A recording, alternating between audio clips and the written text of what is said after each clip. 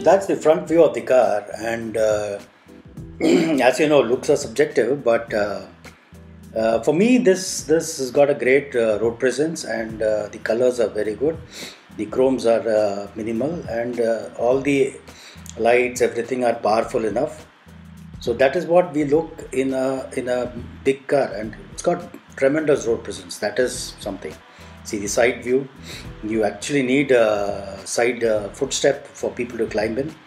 You know the shorter people really need them. So that is well taken care of, even though it is an accessory. And uh, the view is perfect from any angle, is what I would say.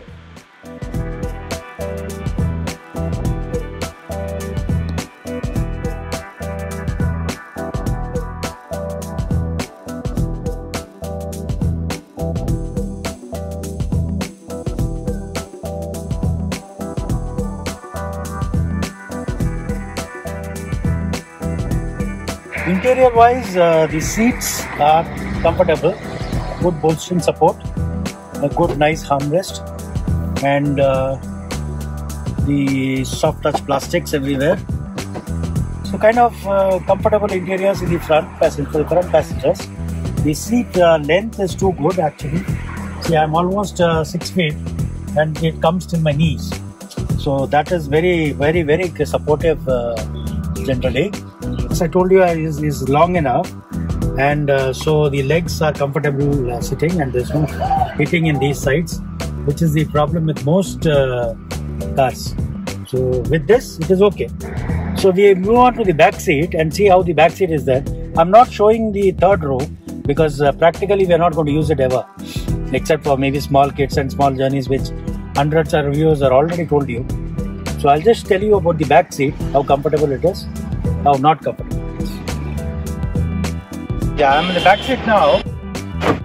Look at uh, just there for my position, and uh, look at the space. Huge space, no problems at all. There's no floor hump. The decay is big enough, and you know you can keep any stuff you want. It is more than 600 liters, which is good enough. As you can see, we have kept some chairs and all things and the height is also good. There's no heating on the top or anything. Loading is also easy.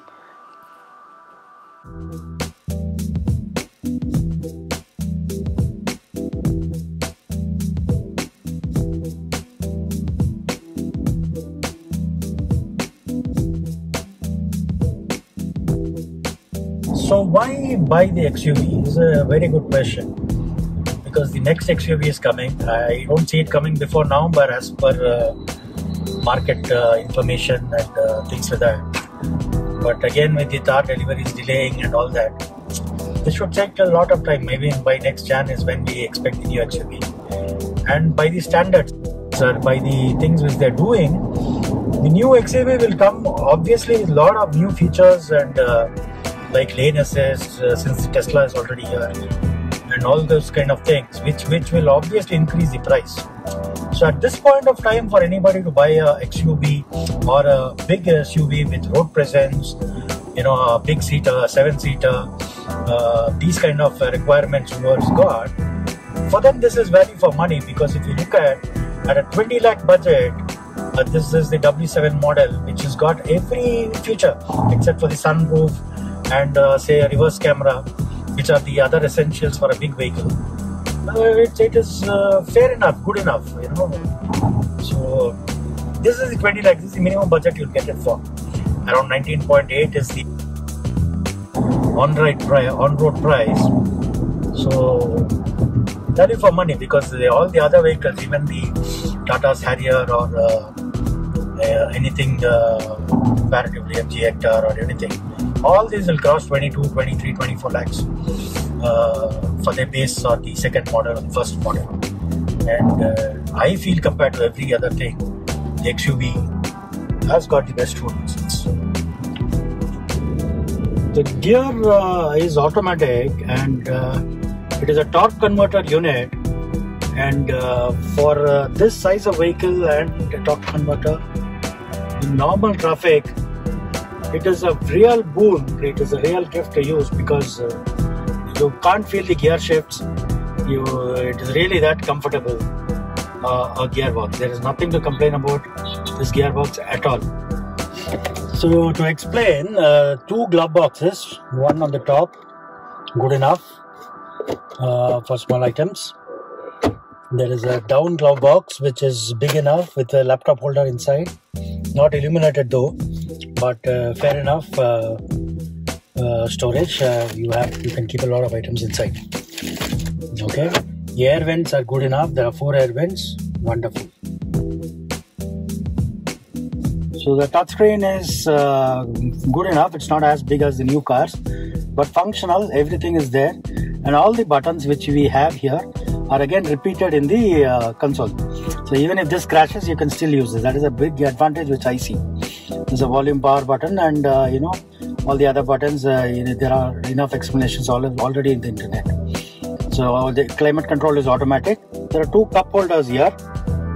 Uh, you can keep one liter bottles in here also on the door pads also and there's a huge storage under this it's actually a double storage so and it's also sliding which is which is makes it more comfortable the instrument panel is uh, is quite uh, uh, good to look at kind of you know this um, what is it called? Aeroplane uh, aeroplane type uh, things.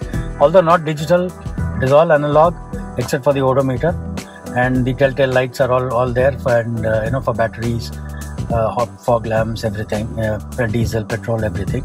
And the steering also has the controls for the volume button and for the mute button and for phone pickup drop source for the uh, audio system cruise control and which you can set it very easily even a voice command system is available on the w7 model of the uh, car xuv car now, the only thing which we think is not uh, great about it is, is the rear view mirror, which is not uh, a uh, automatic one. It is uh, you'll have to do the manual adjustment for to get it for the sunlight and the night drive modes.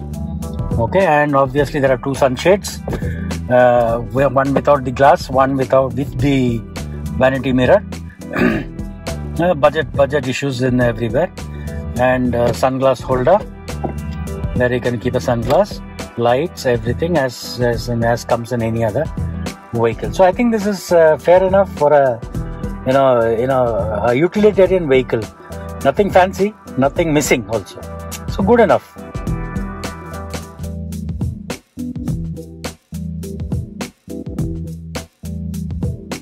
So for the driving experience of the XUV, the vehicle is quite smooth. As we all know, it runs on a 2.2 liter mHawk engine. And uh, the engine is very powerful. I think around 130 to 140 bhp is what it's got. Torque is great, obviously, as it is a, a diesel motor. But uh, power wise, HP wise, the acceleration wise, it's effortless to go into a triple digit speeds. It hardly takes one to three gears. And being an automatic, it is uh, that smooth. The gear shifts are not not even uh, felt. That is, this is natural, normal driving. There are people who race the cars. There are people who want to do a very spirited driving, which we don't do normally in the everyday life. So for them, it might the gearbox might uh, catch out a little. All that things will happen. But generally speaking this is doing 80 90 now. And uh, you can't even feel a jerk. Maybe the camera has jerked on its own but uh, you can't even feel a jerk. The auto gear box it is very very smooth of course i cannot uh, show you a descent or hill climb and all that. Since it's auto auto box you know everybody knows that uh, it is an auto stop where you climb the hills, and when you descend, you can always use the hill descent control, which uh, actually brakes the car with the with the engine bar. So driving wise, very smooth. That is what I would say on the engine part. On the suspension part, yes, it can be a little better, and uh, uh, the suspension, uh, the travel looks very low so the, since the travel is low, the uh, kind of um, you know the bumps are felt. You know even the smaller bump like that is is felt. uh, compared to a sedan or compared to a more luxurious car. So that is the suspension part. I, I think the, the general feedback is the new Mahindra Thar or uh, the Scorpio uh, for that matter has got a better better travel for the suspension which uh, which doesn't uh, allow the smaller bumps to come into the cabin and uh, that's the suspension part. Thirdly the other thing is what we see normally is the uh, noise and vibration you know noise and vibration levels of the car that department also uh, maybe the new XUV will come with better uh, noise and vibration. But as of now, the Bridgestone tires which come with the car give in the voice, give in the noise actually, not the voice, noise. So you can in the highway speeds you can uh, get the uh, noise from the tires coming into the cabin. Wind noise is quite evident. At 80 100 km speed, you can easily feel the uh, you know wind noises at small disturbance unless your stereo is turned on and uh, that doesn't you know interfere in things. So that department has to see the small speed vehicle like that it's really felt the noise coming in. So these are elements which can be corrected but uh, that is what you get for the, for the for the money we pay. So we need to live with it